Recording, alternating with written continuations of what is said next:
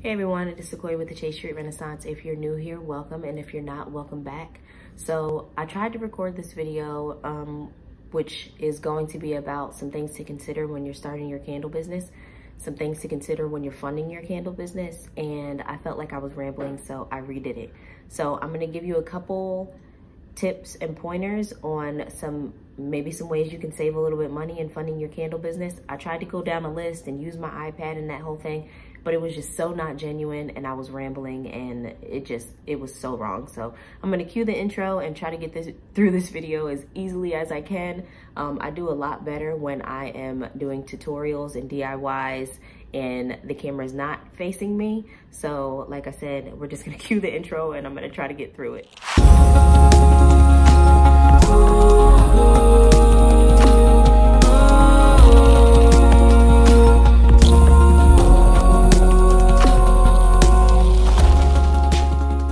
Okay, so the really the main point of this video was to give you some ways to reduce your waste.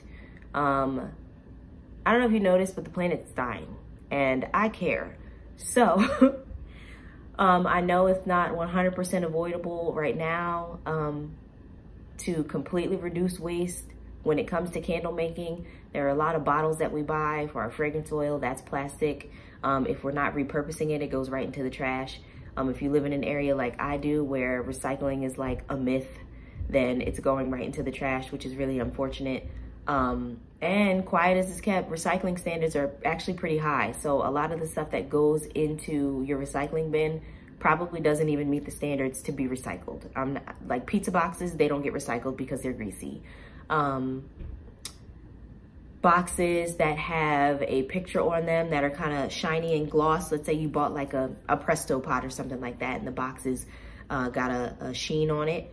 Um, I've been told that they don't get recycled. I haven't done my research on it, but anyway, this isn't about recycling, but this is about trying to cut down your waste, which essentially will cut down uh, the amount of money that you have to spend. Um, you're still gonna have to spend some money, but you might not have to spend as much as often, if that makes sense. So the main thing is to consider um, all of the things that go into your packaging. Um, I know a lot of times we like to add little sample size melts into our packaging. I know a lot of us use those six uh, square clamshells and those clamshells, I can guarantee you're going right to the trash. Nobody is recycling them. Um, and that's what I used to use. I used to use the clamshells. I actually stopped using them the minute I ran out. I didn't purchase them again. I didn't really have a solid plan on what I was gonna use, but I knew I wasn't gonna buy the clamshells anymore. So what I did was I started to buy a lot of silicone molds. Silicone molds are reusable. Um, you can clean them and I mean, that's pretty much it. They're reusable. Anything that's reusable is gonna be more ideal and a money saver to you um, as opposed to a clamshell, a plastic clamshell that you're gonna use once, someone's gonna buy and get thrown away. So prime example is, I popped out one of these little squares. So these are gonna be my sample wax melts. This is all the same scent. And this is a, I, what is this? I believe this is 80, yes. Eight rows of 10, so it's an 80 square silicone mold and I believe it's for chocolate. Like it, it wasn't made for the purpose of using um, uh, pouring wax into it, but it works. So what I do is I pour my my wax into it and I get these glassine bags from Amazon and I think it was like a pack of a hundred for like seven dollars and 98 cents or something like that free shipping and I put this into the bag. I write what the scent is. And then, and then I actually have these burlap bags that I then stick the glassine bag into to make it a little bit more pretty. And that's how I package my sample wax melts. These burlap bags, also really inexpensive. Um, and I got, I believe I got 50 of them. So between the two, I think I maybe spent $20 on my burlap bags, which fit my style of my business, and the glassine bags. And now I don't have to spend another $50 on clamshell molds because I have this silicone mold, which is reusable, and I can get 80 sample wax melts out of it.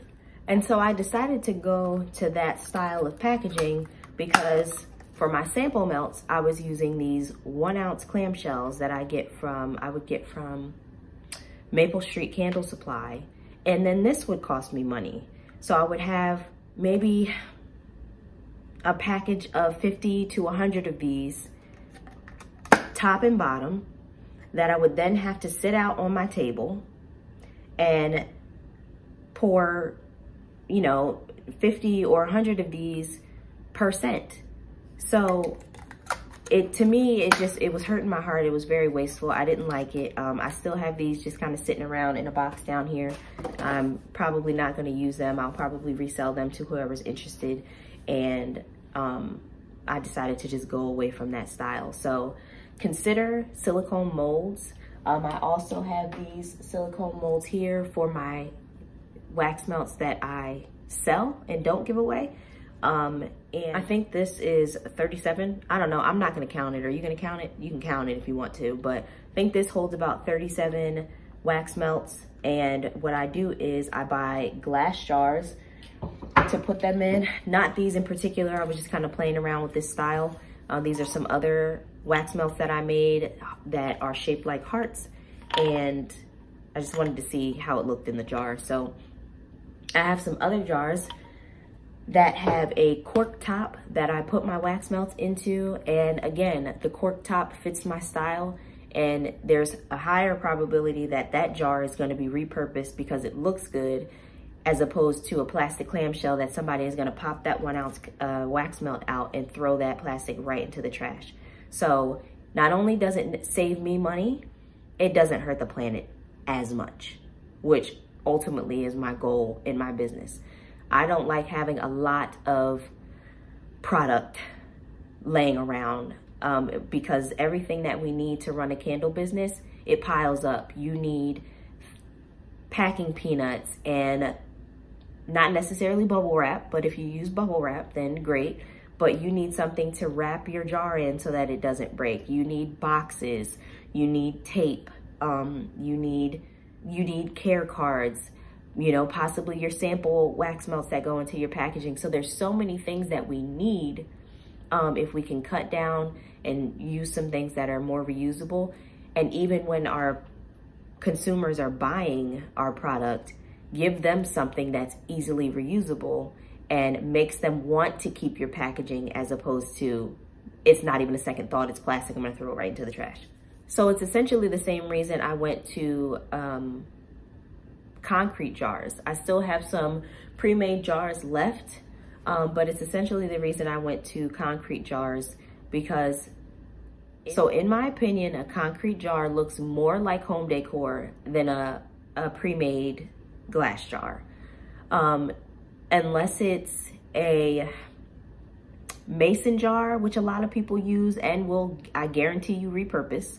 Um, I just feel like a concrete jar looks more like home decor and would look better continuously sitting on someone's bathroom counter or on their mantle or on their desk as opposed to a regular glass jar. Um, so that's just my thoughts on it. Um, so that's one of the reasons why I went to concrete jars. It also saves me money.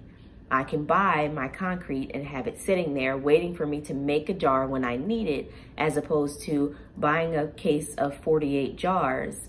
And now it's taken up so much space that I don't really necessarily have any room. If you're, if you're like me and you're working with a small space, um, I don't really have areas to put extra shelving. I don't have um, a lot of shelf space to begin with. So the shelf space that I do have, um, it either is taking up, taken up by jars that I haven't made candles in yet or jars that I do have candles in. So I have to find a happy, a happy balance between the two. Using the concrete jars allows me to make as little or as much as I want and also save some space and save some money. So that is pretty much it for this video. I knew it was gonna be pretty short, most of my videos are, but I just wanted to give you guys some uh, real insight on what I've gone through in my business and the things that I've had to change um, and rebrand throughout my almost two years as a candle maker. Um, it's just food for thought. You don't have to do any of the things that I talked about. You can continue to use plastic if you want to. I'm not judging anyone who does. It's just something that I wasn't comfortable doing um, knowing that where I live right now, they literally came and collected our recycling bins. So even if I wanted to recycle, I couldn't. So it's just some food for thought. Um, my goal for my business is to be 90% plastic free.